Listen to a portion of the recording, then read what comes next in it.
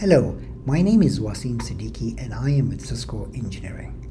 Today I will give you a brief overview of the Assurance Global Events dash dashboard. The network devices create a lot of events and logs during their life. These series of events and log are very helpful when you are troubleshooting a network problem. You can use these uh, events to spot uh, failure patterns across multiple devices, as well as to understand the sequencing patterns between these devices. You can, of course, search for the events that you are interested in as well.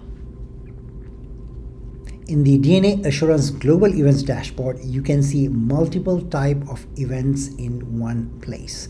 You will be able to see the device syslogs, the various network events, as well as the reachability events, whether the device is reachable or not, the traps, as well as the wireless and wired client events. This is a snapshot of our global events dashboard. At the top, you will see the events trend timeline. This shows you the various events happening over time, as well as the number of events that are happening at that time.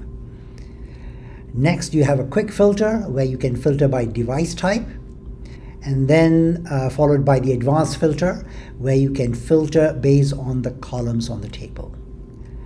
And then of course you have the events themselves.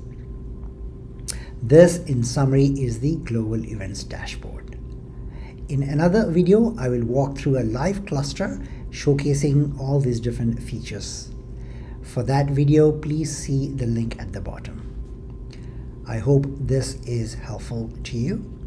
For more training videos, please visit the Cisco DNA Center YouTube channel here. Thank you.